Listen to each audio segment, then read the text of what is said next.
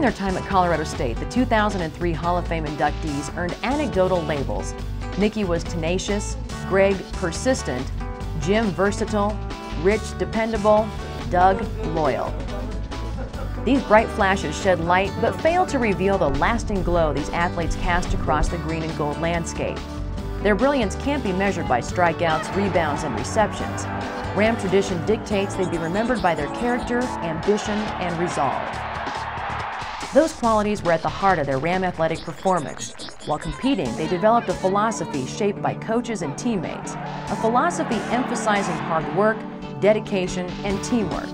It made them outstanding athletes and even better people. Tonight, we honor the people who make us proud to be CSU Rams. I'll tell you, the only way you get good at anything is to do what? Do it over and over and over until you're good at it. Make mistakes, learn from them practice is always more difficult than the game. You're going to work harder in practice than you are in a game. And you, same thing in the classroom. The homework should be more difficult than the test.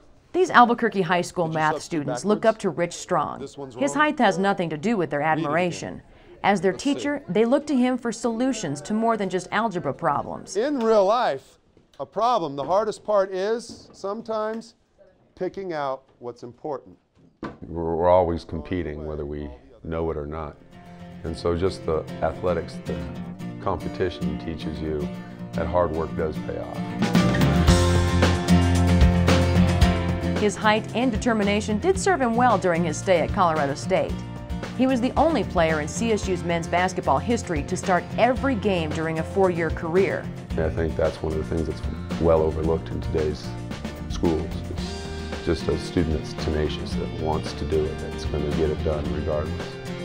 And that's something that you learn through athletics. He started 126 consecutive games between 1982 and 1986. Tabbed the quote thinking man's basketball player, Rich was named the league's top male student athlete his senior season. I didn't have any expectations. It was a matter of, well, I'm just going to do the best I possibly can.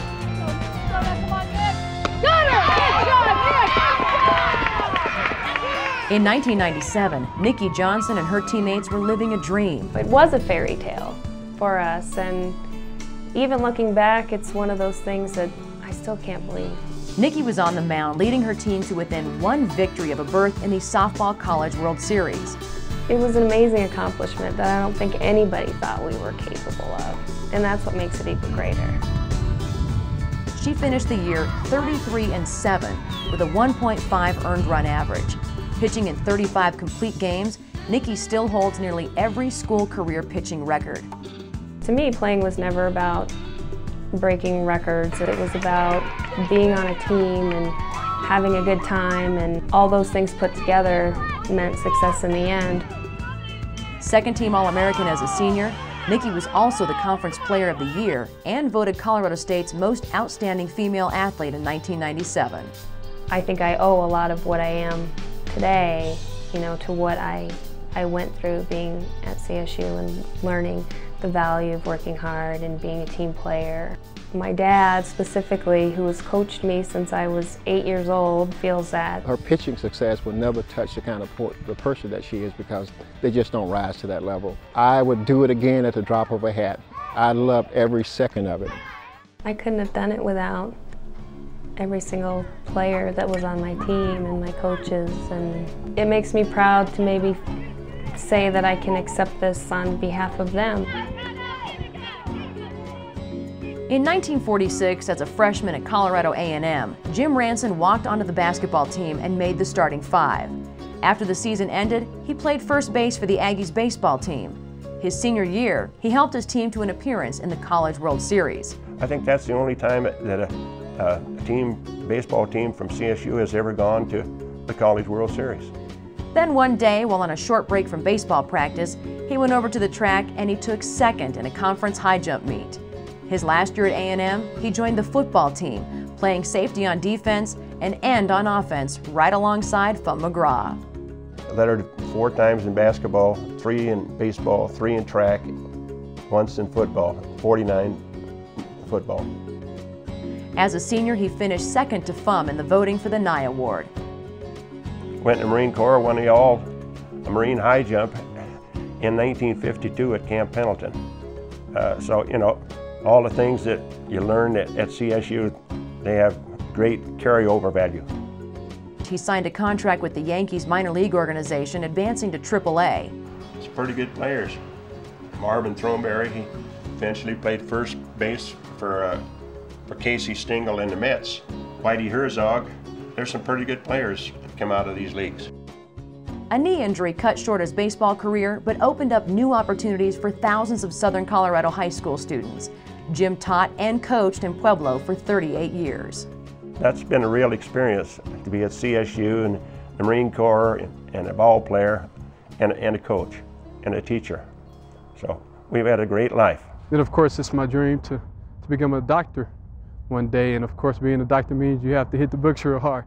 And, uh, Greg Primus always wanted to be a doctor. The third day after surgery, you'll go home. As an orthopedic surgical resident at the University of Chicago, Greg has achieved his lifelong goal. I was fortunate to actually find two things in life that I really love. Coming up, I loved biology. And then, of course, sports was, was a passion of mine.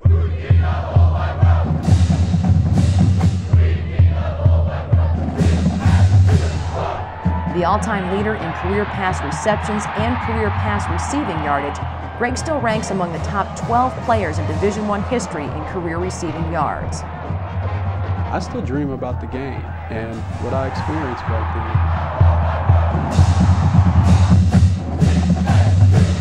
then. My experiences in football uh, so equipped me uh, to be a physician, and not only a physician, uh, but a surgeon. Colorado State definitely had a great impact.